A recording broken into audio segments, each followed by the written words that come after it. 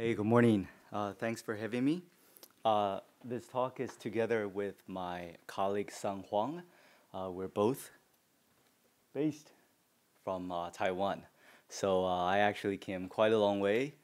Um, it's, it's, a, it's a 15 hours flight. So uh, a little bit about me and my background. It's going to help the talk.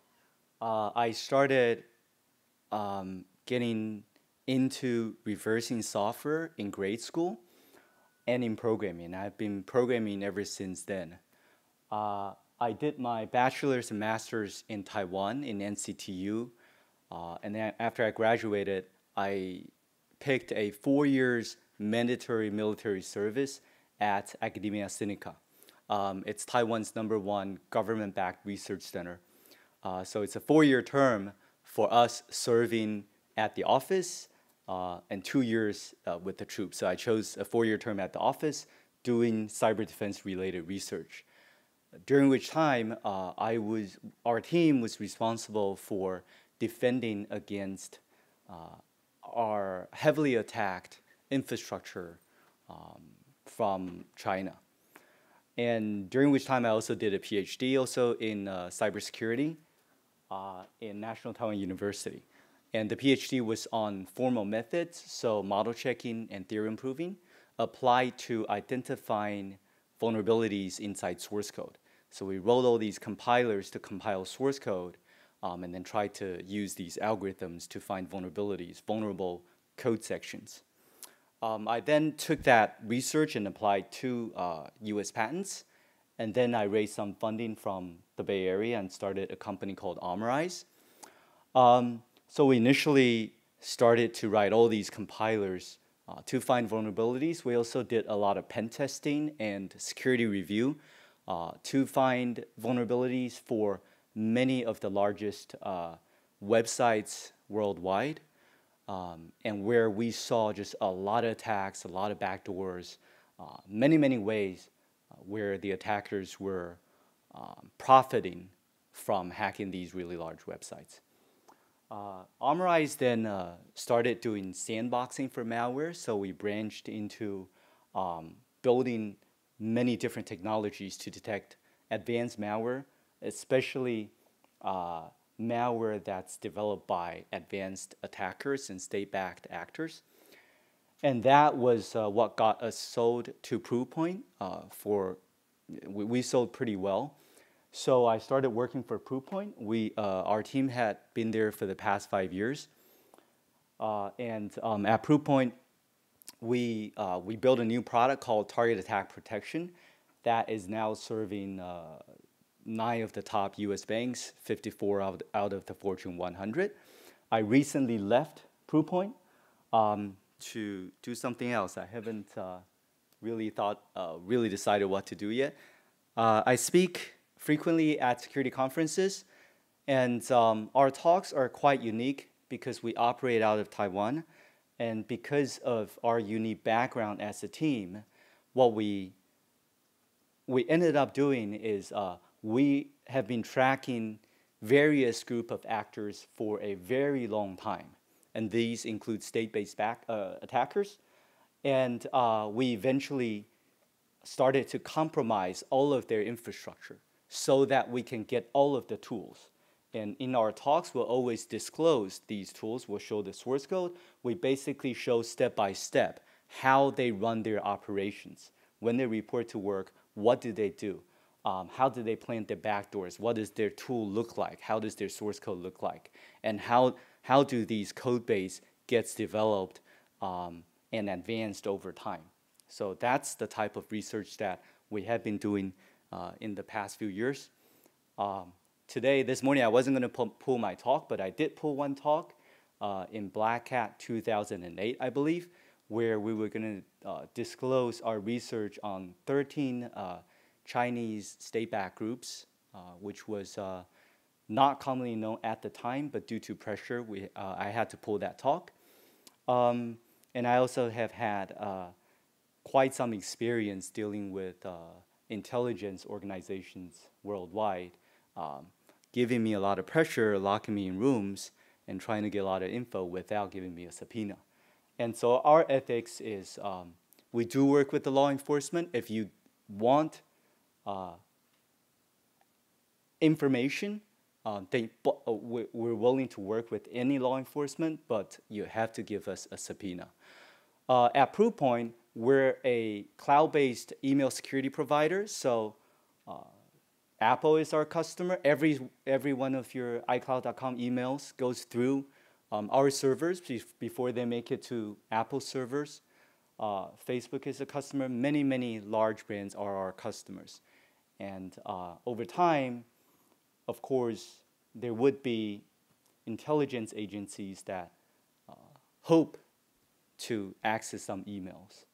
Um, and um, my own policy when I get called is um, you have to you have to really have all the paperwork in place. And um, up until now, I haven't. I've I've received all the pressure, but I've not had an opportunity to go through that process because no subpoena was ever given to me. Um, after I sold my company Armorize to Proofpoint, I also invested as an angel investor into seven startups. Uh, so that is also something that I'm passionate about. All startups are software based and angel round. I then started to also invest in ICOs.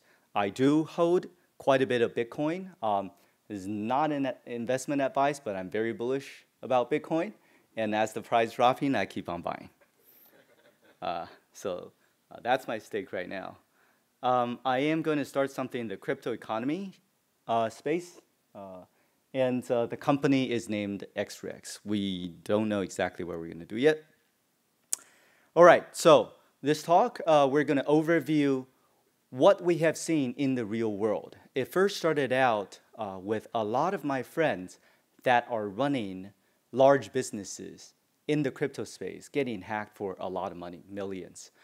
Um, and because I'm known as a cybersecurity expert, um, they come to me. So over time, I have handled uh, many of these attacks, these incidents.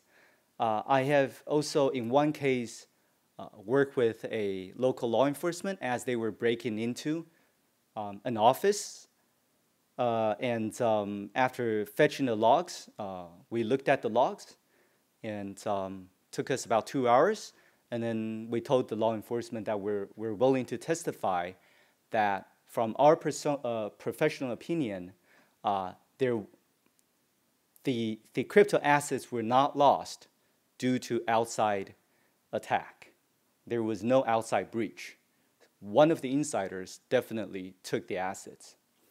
And in this case, uh, because of this, the, the CEO himself um, later um, admitted to, to taking the assets. Okay, so um, in real world, so what, what exactly uh, is happening? Can we, can we kind of um, draw out a landscape is what I'm trying to do, we're trying to do with this talk.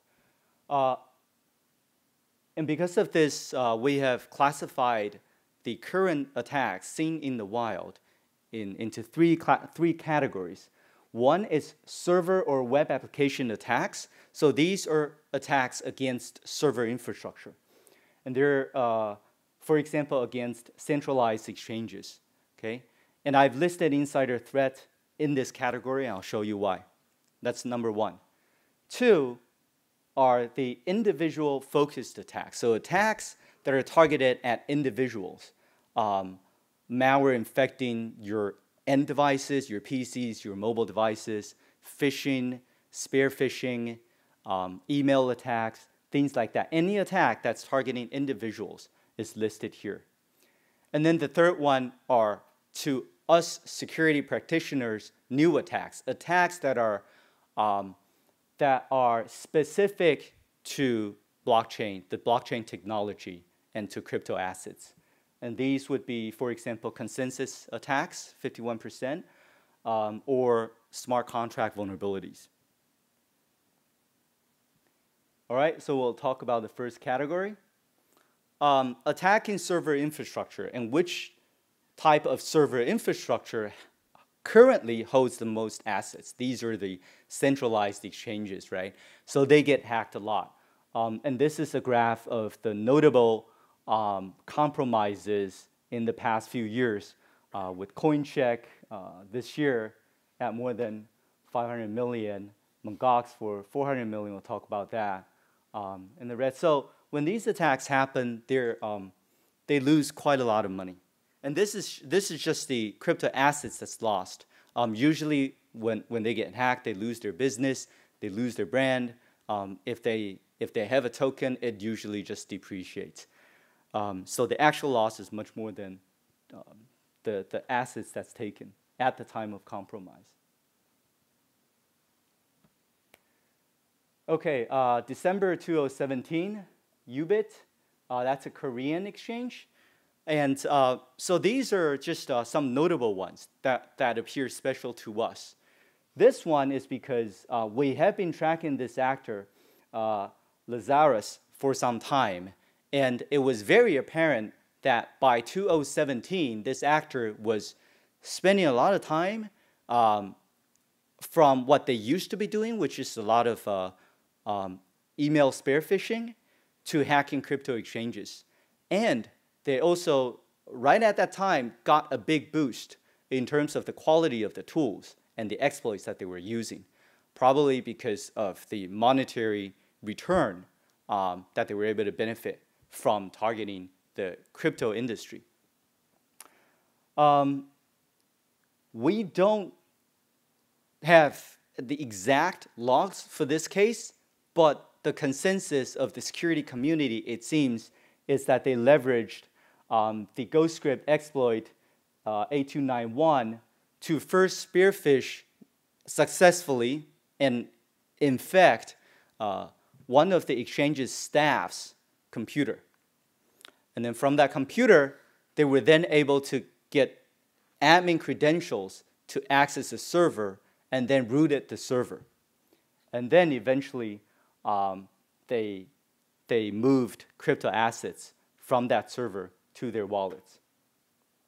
And this was a 40 million attack. So this attack, it was ultimately targeted at server infrastructure, but it started by targeting individuals, which is what such APT actors are very specialized in doing. Um, and um, speaking of exploits, uh, for example, when we started Armorize uh, in back in 2006, we needed a way to sustain the company and make some money. Um, so we did take on one project, and it was we had quite a bit of debate whether to take on that project, but in the end we took it. It was work for the Taiwanese government. Uh, the Taiwanese government regularly buys zero-day exploits from various sources. We were not there to help them buy but we were there to verify that what they bought actually worked and that was actually a zero day, right? So, and that's back in 2006. So from, from what we know, most governments um, have this type of budget and have been doing it for more than a decade now. So uh, the, the, there has been a very mature market to buy these exploits.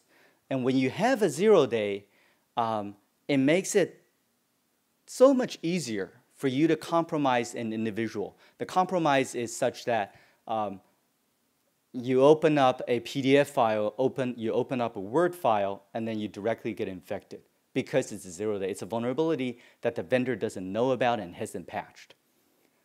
Um, and then with now, now with uh, the hacking of these exchanges, uh, we expect that the zero day uh, uh exploit economy is going to grow a lot because of the monetary return behind using such zero days. In the past, it was mostly to collect intelligence, but now, um, even if you spend half a million, which is already a lot today, uh, to buy a zero day, um, you can hack an exchange for hundreds of million.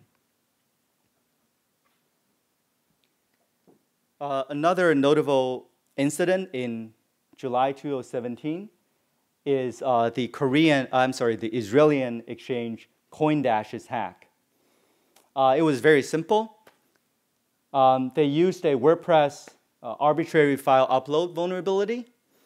Um, and uh, on their first day of, the IC, uh, of their ICO, the actor changed their Ether address, official Ether address, to an address by the hacker, right?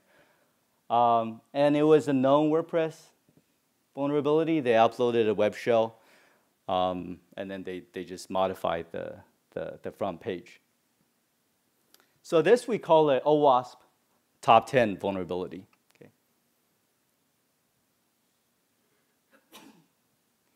May 2016, Hong Kongese exchange, Gatecoin.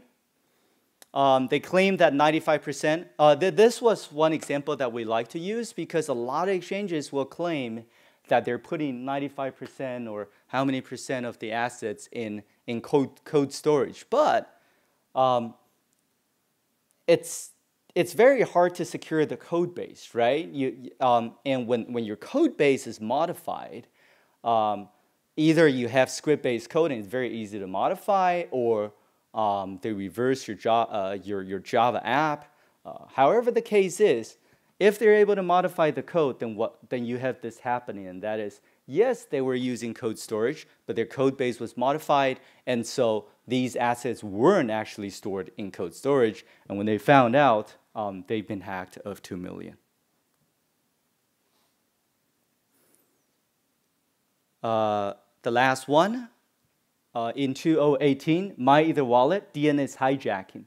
Uh, this was not against uh, the MyEtherWallet DNS servers, and it wasn't against even against the, uh, Amazon Route 53. This was an upstream DNS um, server that uh, was um, was played with uh, BGP hijacking.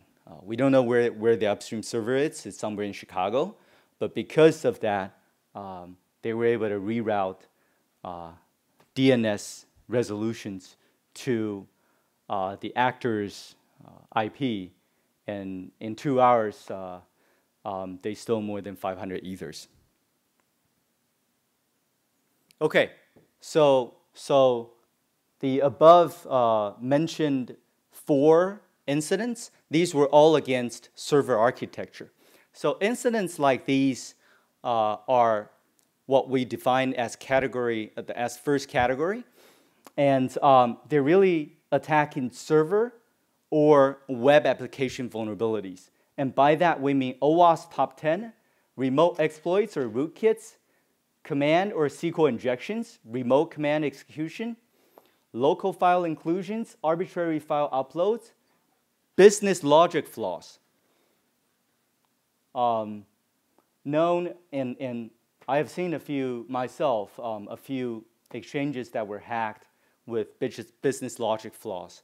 Um, coupon codes, uh, reward tokens that can be unlimitedly generated uh, once, the, once you figure out their API, things like that. Uh, known vulnerabilities in open source packages server misconfiguration, admin credential theft, as we have seen um, with the uh, Korean APT actor hack uh, against the uh, Korean exchange, DDoS, and DNS hijacking.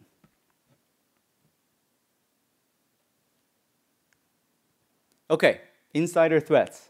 So uh, we classify, we've included insider threats in this category. Uh, Anyone want to take a guess? What, what was the biggest ever insider threat? In terms of dollar loss? Mt. Gox, yep. Good job. So Mt. Gox, uh, they were hacked, but they didn't lose that much. Um, it's estimated that they only lost 7,000 bitcoins, uh, and the, the other 580 uh, bitcoins were due to internal theft. So this actually doesn't happen only to Mt. Gox. We see a lot of this case where um, for the earlier exchanges, when they get hacked, management just panic and they lose a few million and they just say, well, we'll just say that we're totally hacked and we'll, we'll take the rest. um, uh, and uh, we, we also list here Coin, uh, CoinSecure. This was, I believe, a few months ago, an Indian exchange, hacked for 3.5 million insider theft and uh, Shapeshift, a Switzerland exchange that lost some money to do insider theft um, because an ex-employee sold um, some creds to the actor. So if we draw um, from blockchain graveyard all of the instances listed there, and we look at the category one attacks and the, the loss in terms of dollar volume, not in terms of the number of incidents, but in terms of the damage that's done, then we end up with this graph. Uh, you can see more than half are server attacks. So these are server misconfiguration, remote exploitation, um, DDoS, DNS hijacking, things like that. App breaches, these are um, vulnerabilities inside a custom written application, uh, like a uh, crypto bank or a, or a centralized exchange, um, vulnerabilities that the developers introduced in their own code base. That's about 30%.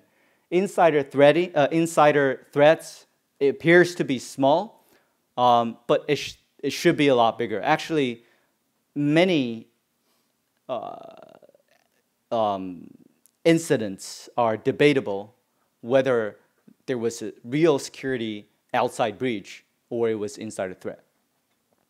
And then cold wallet breaches uh, account for 11%. These are cold wallets that whose, uh, whose integration with the servers have been manipulated. Okay, category two, individual focused attacks. And these are, uh, for example, malware uh, infections against endpoint devices, or, for example, credential phish or email phish. So it's my opinion that in a more decentralized model, um, individuals are even more responsible for their assets. So whenever I hear, oh, um, the blockchain is more secure because of this and that, I don't necessarily agree.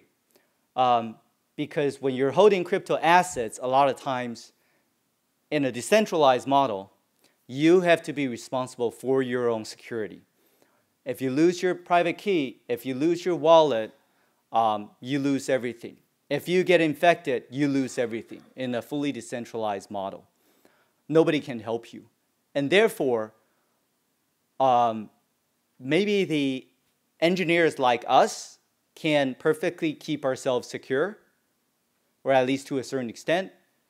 Uh, when when uh, crypto gets wider adoption, right? Can the moms and, and pops and the grandmas keep themselves secure in a more decentralized model? Um, and even in a centralized model in the crypto economy, let's say you're keeping all of your crypto assets with a centralized online crypto bank. Um, from my experience, because uh, I worked with many banks, uh, they are our customers. Um, these banks, they have layers and layers of security check, right? They will never consider you to be who you are just because you have the right password. They have to see the time of your login, the IP address if you log in, your browser language, this and that. And we're not, and when they're not happy, um, they're just gonna disallow you to do your transactions or they'll just disallow you to use your credit card. It will cause a lot of uh, inconvenience, but it's a way to for them to protect their users. In the crypto space, we haven't seen that done a lot, right? So um, although, let's say you, um, you're, you don't want to be responsible or your mom or your grandma don't want to be responsible for these assets, and so you have them place these assets at an online crypto bank. But when they get infected, when they lose their credentials, and some attacker out somewhere um, logs in from a very different IP at a very different location, today, many of these online banks and exchanges will not flag that.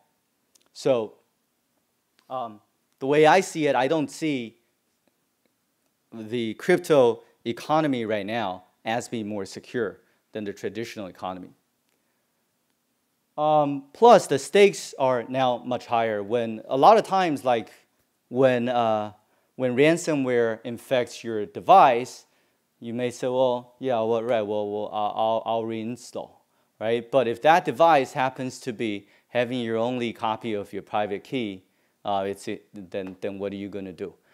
Uh, so all of a sudden, it's kind of I kind of think of it as uh, in a fully decentralized model. Am I just uh, going to pile up a whole whole lot of cash in my home? So I have to build a bank. I have to build a safe. I have to make sure that there's no fire. Blah blah blah blah blah. While in a centralized traditional way, banks can take care of that for me and they're insured, right? So I can, I can feel pretty good.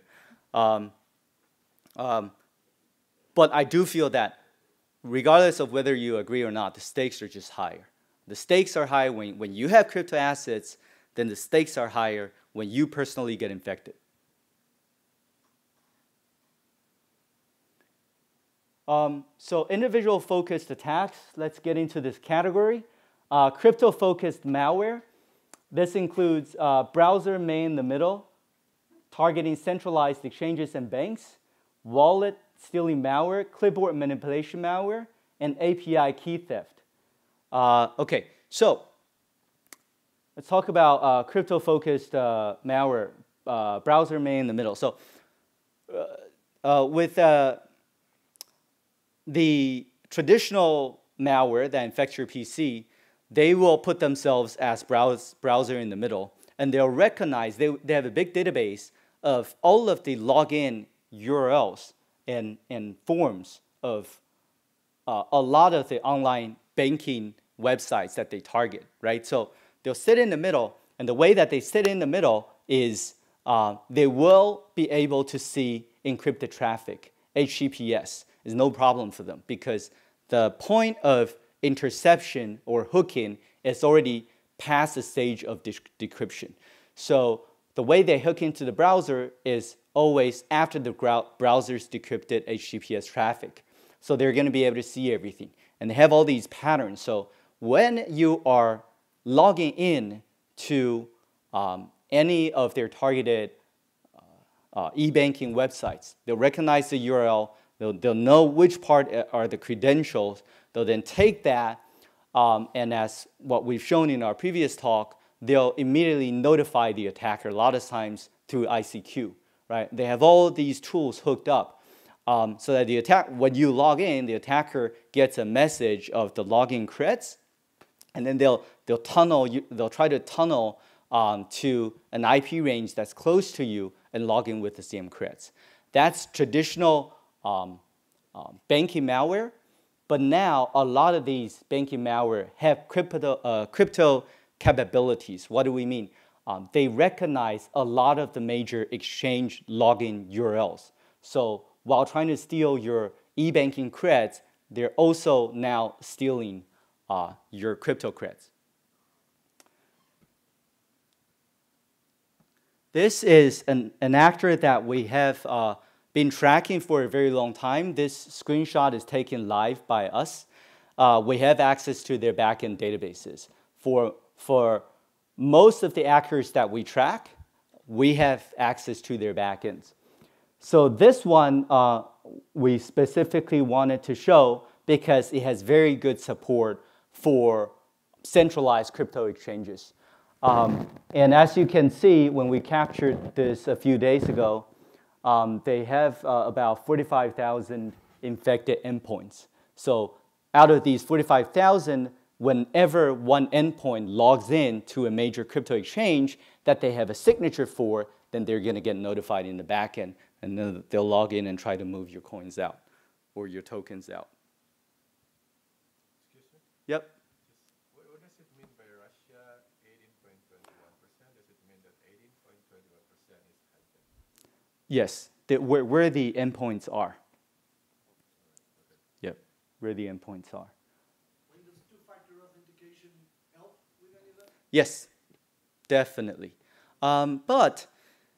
now, and that's why uh, these actors have worked hard on their, uh, on their Android malware. The Android malware will also intercept the SMS and everything, right? So, and that's why they love um, uh, infecting your mobile versus your PC. When they infect your PC, usually the 2FA doesn't work for them.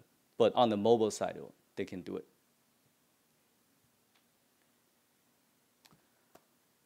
So um, once they have a lot of these creds, one thing that we have seen, which is uh, still pretty new, is that uh, they sometimes will launch an API-based attack. And this was done twice already to Binance, once in March, and uh, the other time just, uh, I think, two weeks ago maybe. So, uh, for example, in March, what they did is um, they had a large number of compromised Binance accounts where um, they had the API credentials. Okay. Um, these API, uh, Binance doesn't allow you just just through that API move the assets out, transfer the assets out. So what they did is they prepared 31 accounts that they owned. Okay, and they kept on stealing the API credits. So they had a lot of API credits here. And right here, they had their 31 accounts where they could move, the, where they registered with fake passwords and they could move the assets.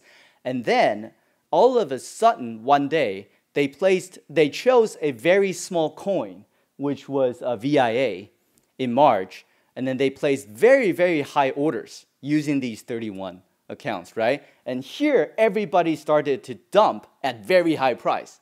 Um, so they sold these uh, uh, VIA coins using Bitcoin at very high price, all of a sudden driving the price up 10,000 times and then moved the funds out. This happened uh, about two weeks ago again, uh, and this time for a 45 million loss uh, to Binance. Um, again, chose a small coin, SYS, and Binance had to uh, immediately shut down all their API and reset all API keys.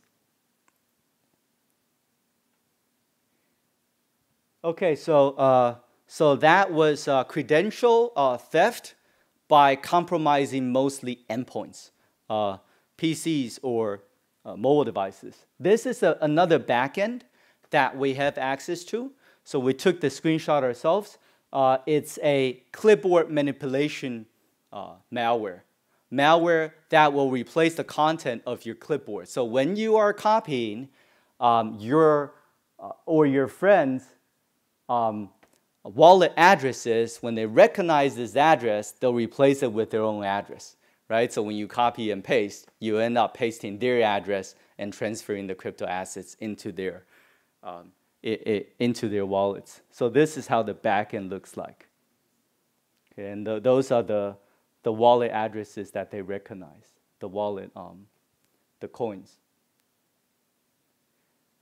Uh, crypto-focused malware types. So uh, those are just some examples of crypto malware.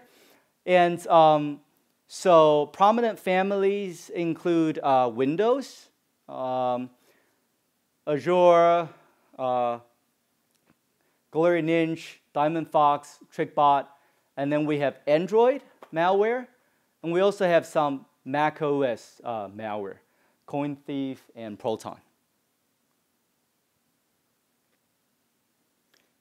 Okay, aside from individual uh, uh, malware that, in, that infect individuals, this category also include other types of attacks against individuals phishing, scam, vulnerable client software, duplicated passwords, crypto mining malware, cryptojacking, uh, and ransomware. We'll briefly give examples. This is a phish against MyEther Wallet. It's myetherwallet.s.com. Uh, this is a scam. This is another scam um, appearing to be Vitalik, uh, asking you to send him some ether. Uh, vulnerable software, Parity and Go Ethereum had a uh, RPC API uh, that had an absence of access control. And so for over two years, uh, this actor used uh, here what we call a passive port scanner to find out all clients that, uh, that was listening on port 8545 and over a period of time, they managed to steal more than 38,000 ethers from these two client-based wallets because they just had, they require no password um, to access their uh, RPC API.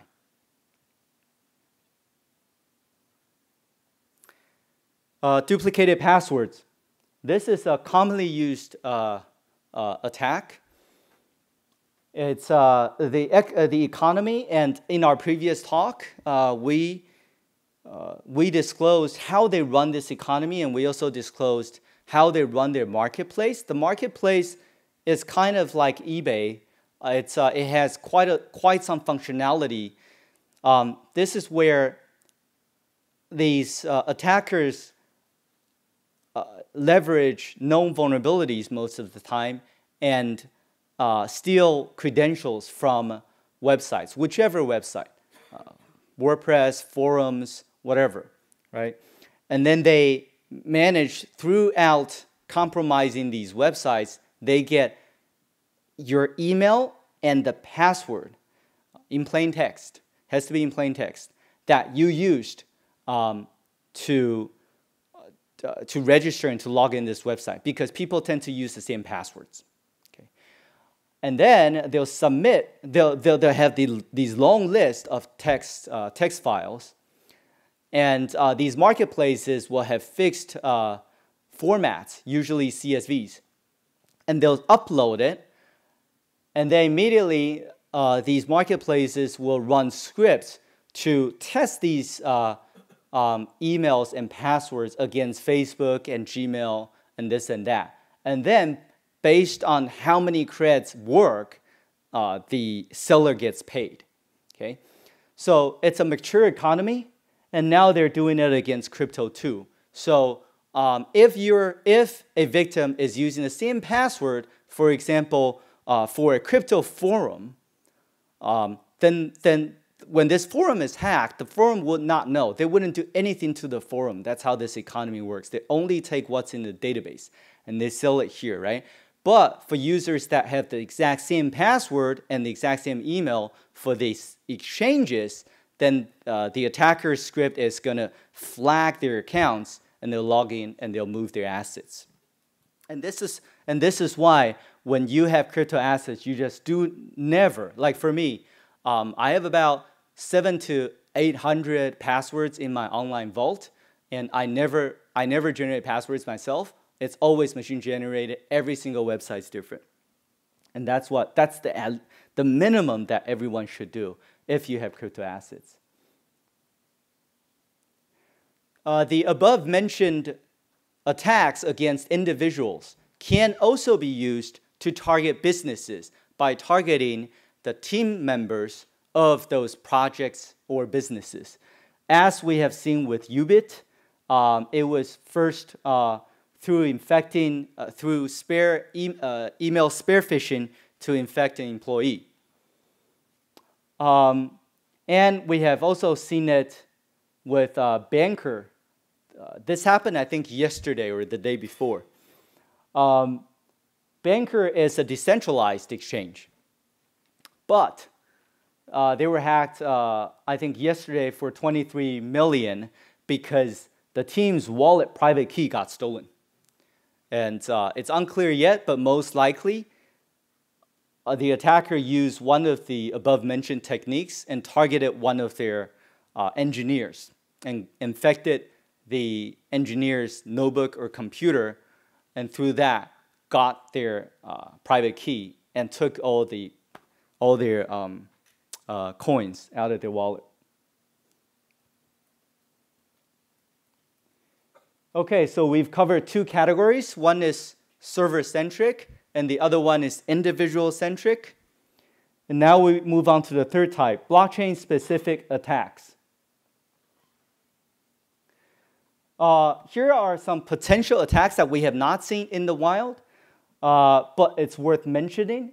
In August 2017, uh, cryptographic vulnerabilities in I IOTA curl um, hash function. That's why they say you never design your own hash function uh, because they're very hard to get right. It was identified by MIT DCI and replaced with SHA-3. Uh, earlier this year, as uh, Gauss mentioned yesterday, the Eclipse issue with Go Ethereum 1.7 that was fixed in 1.8 uh, and we, so these two are vulnerabilities that, that was found, that were found that were fixed that were not yet used in the wild, at least we've not seen. Uh, there's another project worth mentioning, large uh, Bitcoin Collider project that have uh, generated 30,000 trillion private keys uh, to test out collision, and they've only collided uh, seven Bitcoin wallets. So it, seem, it would seem that the collision problem um, is, uh, is right now not of an issue for Bitcoin. 50% attacks have, we have seen quite a few success cases this year with 51% attacks. The biggest one uh, being with Bitcoin, Bitcoin Gold, BTG, for 18.6 million. Uh, it's rumored in the community that the, attack, uh, the actor rented NiceHash at 0.12 bitcoins per minute to launch this attack. Uh, Zencash was also attacked uh, and lost 0.55, uh, half a million. And this year we also saw Mona and uh, XVG. XVG was, not, was not by sheer computing power or hashing power uh, they had a consensus algorithm bug with their timestamping. And so they were exploited that way for 3 million.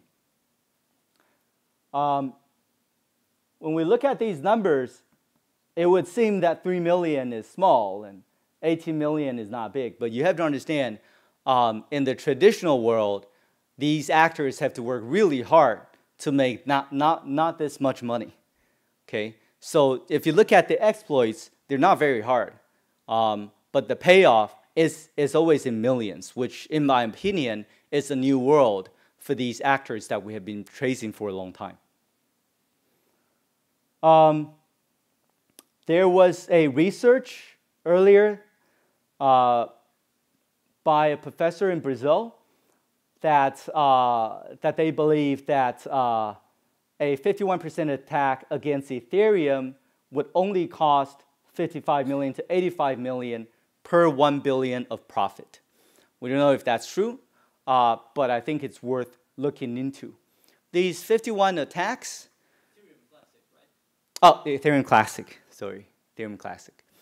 Um, from what we have seen in the community, uh, uh, we have seen a lot of talks of these 51 attacks uh, being planned not for not only for uh, financial gains, but to defeat people that they don't like.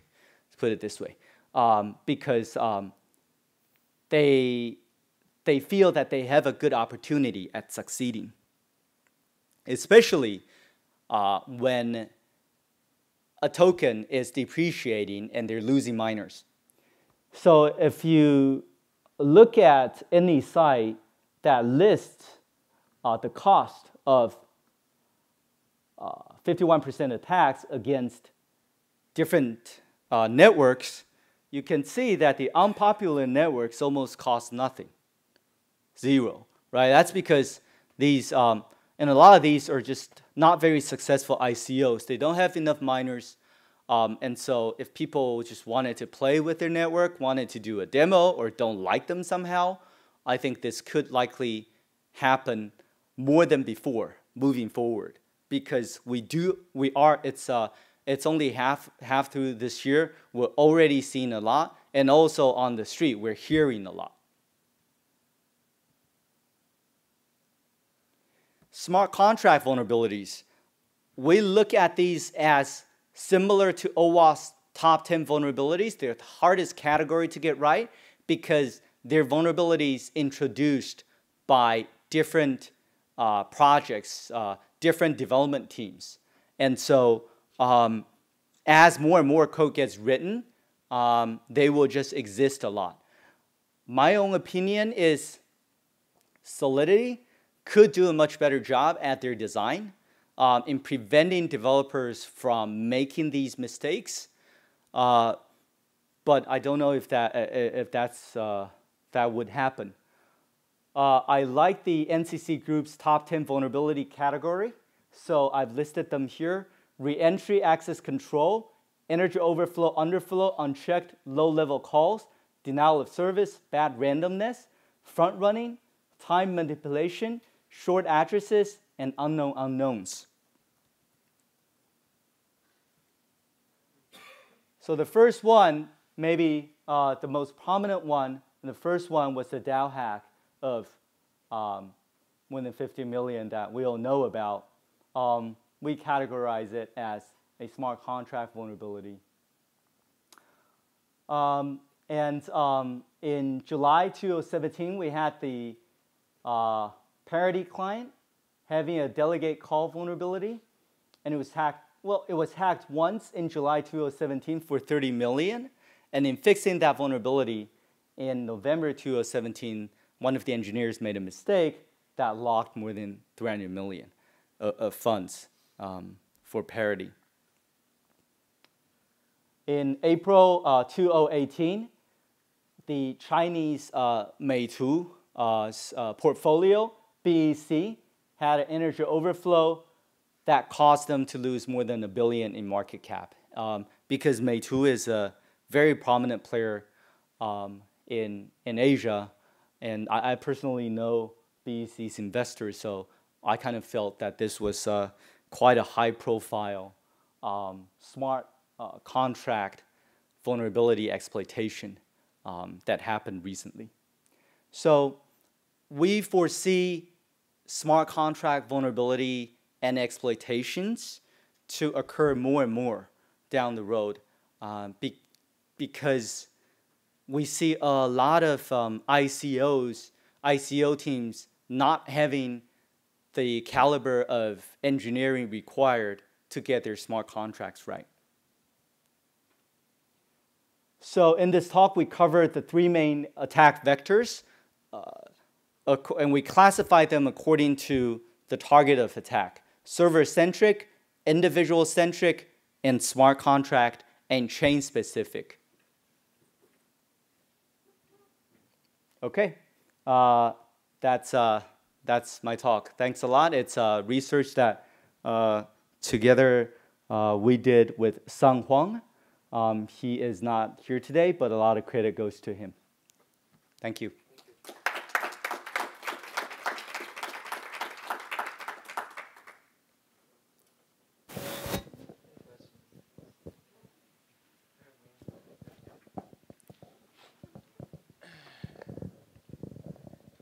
Uh, great talk. I like to like to hear the, the talk. Um, you you uh, showed us um, um, APT actor. What is an APT actor? Uh, uh, called Lazarus. And is, is Lazarus a team or an individual hacker? Um, APT actors are actors that are using a lot of um, more advanced uh, techniques and they are quite persistent. You will see them persisting their tools, their code base, their method of attack for many years. They're called um, advanced persistent threat actors. Uh, many of them are state, uh, state backed. Um, uh, I'll say for Taiwan, for example, um, I think starting from the 2000, uh, our government procurement law state, uh, uh, required that we, pu we publish a lot of our purchases. So since then, you would see on our government website, uh, every year we're building all these exploits and botnets and this and that, right? So in my opinion, it's very funny because you're not supposed to disclose what, what we're building, um, but they have to do that to get a fair bit from vendors. Uh, many, many, I think most countries now have this type of capacity as a part of their intelligence collection network. Uh, so these are what we refer to as, as APT actors. Um, and uh, you, you mentioned um, the, the exchanges being hacked, uh, like Mt. Gox and whatever. have you followed up on them and what, ha what, what happened to th those exchanges? Or did they run out of business, depreciated? What happened to them? Did, did you follow up the, um, the story from, afterwards? From time to time, from what I understand, um, Mt. Gox very interestingly, it seems that they're able to pay everybody back now because uh, the little Bitcoin that they had left now appreciated so much that, okay. that they can pay everybody back. Um, this time, uh, coming out to, to look for what I want to do next, uh, one of my co-founders called Winston, uh, he wasn't originally on my Armorize team. I met him five years ago when uh, he ran Taiwan's first exchange, matching exchange. He ran it for seven months before it got hacked. Uh, so um, they lost about 800 bitcoins at the time, and he personally paid back every single user in two days, and then took the code base to us. We looked at the code base and we said, never, never do it again, because they, they, they announced that they're going to relaunch soon. And I said, no way. With this team, you're not going to do it.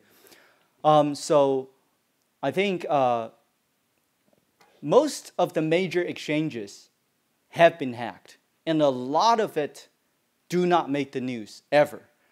Right now, they make so much money that it's okay for them. Um, the, the, the, the money that they make fund their very expensive education process in learning how to get their stuff secure. Uh, that, that's how we see it. Some smaller exchanges get hacked and then never come back, like my friends.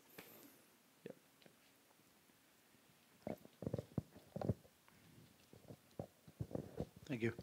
Very interesting talk. Thank you. Thank you. Um, I'm wondering if um, you mentioned uh, state-based actors uh, quite a lot. Uh, is this becoming something that's mostly state-backed? And if so, um, who are the main players? And is this, uh, is this evolving into some kind of or into plain warfare? Um, state-based actors have been around for a very long time. It's, in my opinion, it's just how countries allocate their intelligence budget.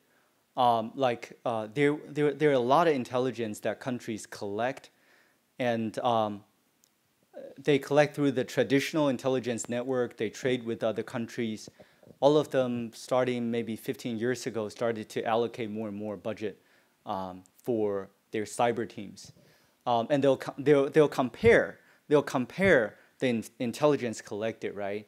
Like this time, if there's an important uh, important uh, event uh, happening in Europe where all the world leaders are, uh, maybe they want to know who is meeting who and what they're talking about, right? So um, for every one of these targets that they want to collect intel, they will eventually compare what they're getting from their traditional network and what they're getting from their cyber team. And I think most countries have found their cyber team to be very effective.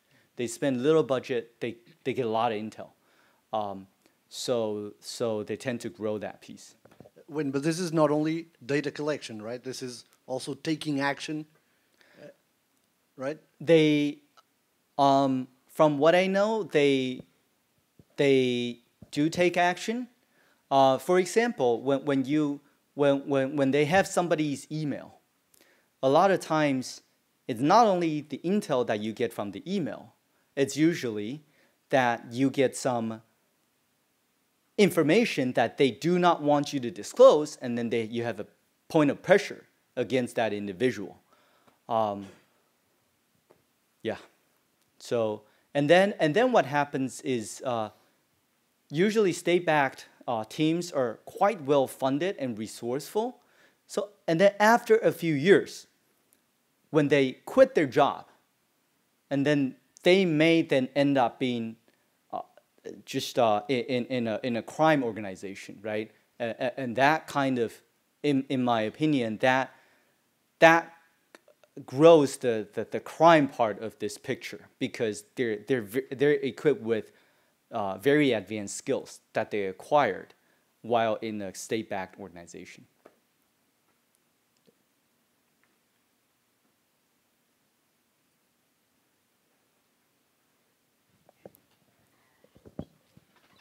Um, uh, how tense is the situation between Taiwan and China regarding cyber uh, security? Uh, it used to be really tense. Uh, we used to have to um, sleep in the server room because because the attack was so intense. Uh, that was when I was serving my military. Uh, they have moved away from us. Um, they have other interests. Taiwan is not of the highest interest to them anymore. yeah.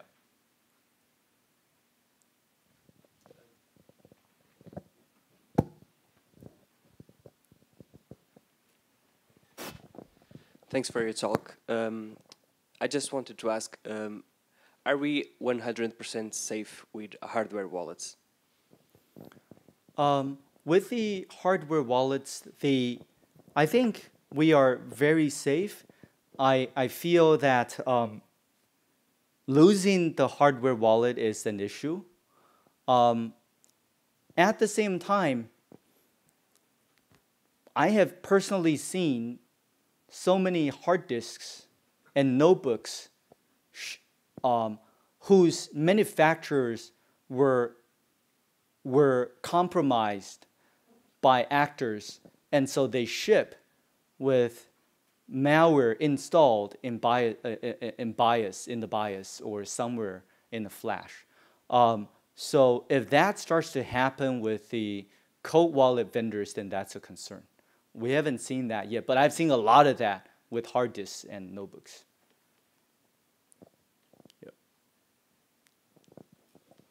Just, uh, if I may add to your point, uh, most hardware wallets have a web interface, so you are still vulnerable to all of the injection attacks and whatever on your browser. So that's also an issue. Yes. Yes. Not really a question. Yes. sorry. Yes. Totally. Totally. On hardware wallet, you have a display of what the transaction is doing. So No. even if your browser is uh, m- fact, malicious, Yeah. you still see that you are not sending the right amount to the right address, at least for basic transactions. You may not notice it. That's the thing. Well, if you don't read it, that's quite your fault, I'd say. Yeah, sure, but it's an attack. We're just saying. I- i- If your browser is infected, you're um, you're easily compromised um, because uh, a browser may in the middle they they always modify HTML right and intercept HTML. So you just I think the hardware wallet displays the amount and the target of the transaction. So you still know with what you are interacting and how much money you are sending. yep really have to be careful. Think that matches with. with Yeah, I. I do that all the time. yeah.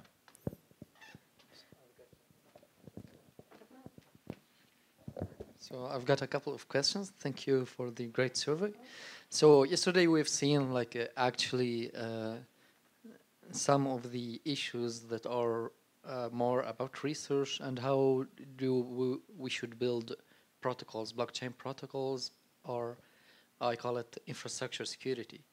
So today we have seen more on software, the vulnerabilities, the malware, and uh, so I see that we have two problems. One problem is with building the protocols in the technology, and the other one is with the awareness of how to use this, what are the tools and software to this. So uh, do you think that either Bitcoin or the other blockchains around are really mature to be used like, uh, or can we use it like with vigilance or? Um, I So, think so a lot of people are skeptical I, I don't um, know. I, I think um, like from yesterday's talk, I, I think um, every event that I go to, I see, I see this space having attracted so much talent, right? Um, and and with so much talent, and and people finding lots of potential and theoretical uh, attack vectors, and proposing fixes. I personally from my experience, I see it as very healthy, and and I I um, I see the whole space as growing and getting secured at a very good speed. Versus when I was uh, like I was involved in some of the W3C meetings where where where we were specting out um, all the internet protocols. Uh, people knew very little about security, right? HTTP and HTML but today it still worked. Um, but but the, the design of the blockchain and all these newer networks, in my opinion, are already comparatively super secure versus what we designed in the past. And with the the amount of talent that we're right now able to pull into this um, into this ecosystem, into this community, uh, I, I'm I just see it as very promising. But but of course, um, it's still a it's growing at a tremendous speed, but it's still ver a very new space. So there's some time until our mom and pops get to hold crypto securely. Um, it takes some time. Uh, yeah. Uh, another question is that there's been a discussion in our group, research group, with the security guys. And one of the guys is a senior. Actually, he said that it's very dangerous actually to put all this stuff in the public. So all the like research and in the practices actually, there's been some kind of like hide everything in the databases, hide your keys, the, your passwords, uh, put firewalls and this kind of thing. And now it's very open, like everyone has everything on his machine, and that's dangerous because but originally like cryptography was not built for for this. What was not built to put in the public. So that's why like they use a lot of firewalls and this kind of stuff. And now like they think that it's dangerous now to put this in the public. So could you comment on this? Um yeah uh, well um i think uh with the uh, it's the it's the world we're in today, right? So um, if you like for a couple of years we were doing uh, malvertising detection and just studying how how of all the ways that the advert, advertisers can track us and all of the the personal information that's exposed on these advertising platforms. Um, I think the uh, the technology grew so quickly um, people weren't aware that all of this information is used to track them. Yes, that's true. Um, but it, I, I, I, I do think I, I do see the industry addressing a lot of these problems.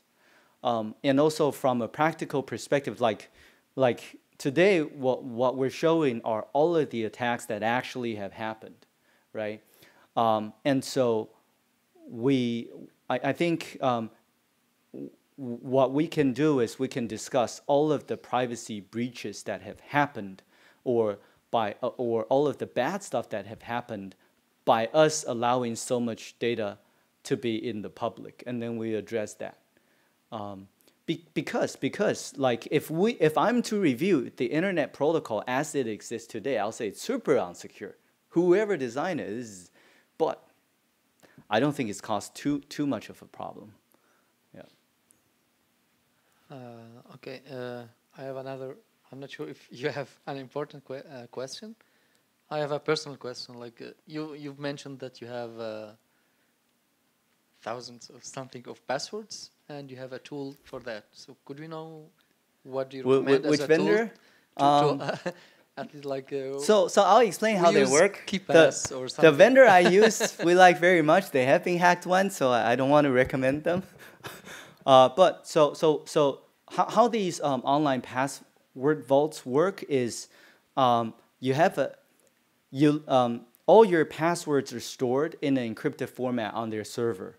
Um, and uh, so they'll typically use JavaScript to download all of your passwords in encrypted format and ask you to enter a decryption passphrase, which they don't keep at the server, to, to decrypt the passwords. Um, once de decrypted, um, it depends on whether the JavaScript, once you use a password, uh, the, it depends on whether the JavaScript tries to scramble the memory, right? Because you can have a piece of malware that is sniffing through the, scraping through the memory that's trying to find your passwords. Uh, um, if they want to be thorough, then they have to scrape the memory as well using JavaScript somehow. Uh, the vendor that I use have been hacked once. Uh, nothing has happened. uh, apparently, the attacker was not able to decrypt people's password. Um, so, so that's the state of things for me. Yeah, but but I, I never use I never use a password that I generate myself. It's always auto, autogen, always. Do you think it's uh, safe to use uh, the open tools like KeePass or something? Hello.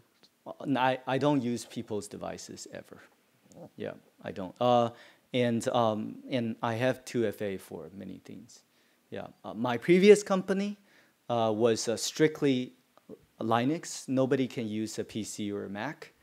Uh, with the new company, we've degraded to Macs.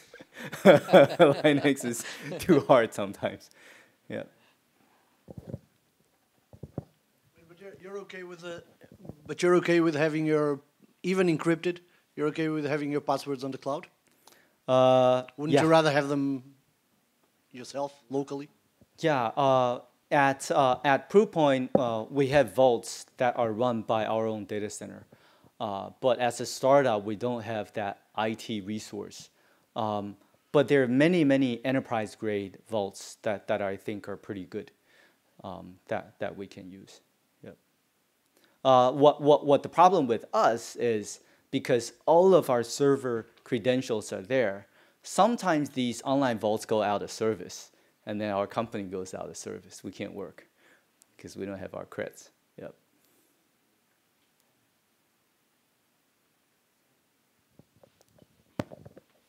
Uh, you, you mentioned uh, this. You mentioned these web, web attacks. Uh, uh, web in the middle, Man in the middle.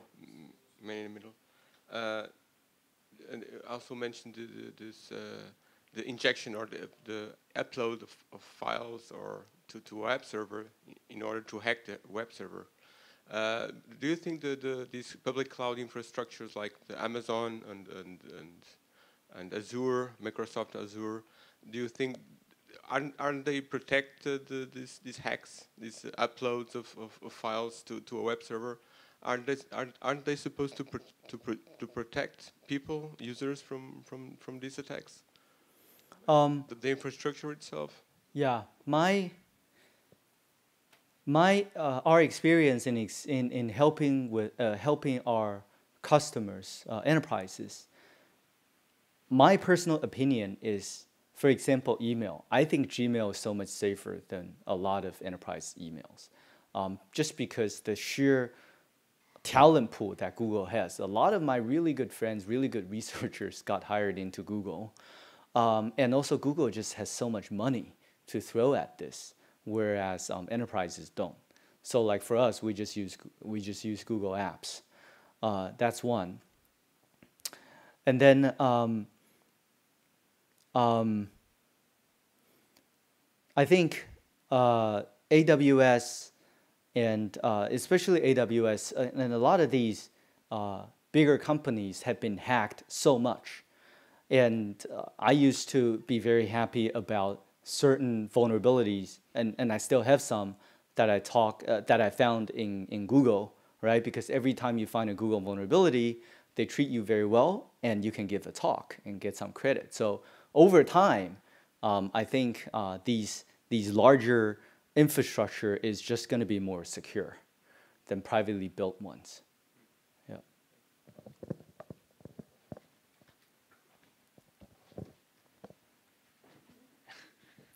Thank you very much for your talk and for the audience. Uh, now let's have a coffee break, and let's gonna start uh, again the next session at 11. Okay. Uh, so that's it. Thank you.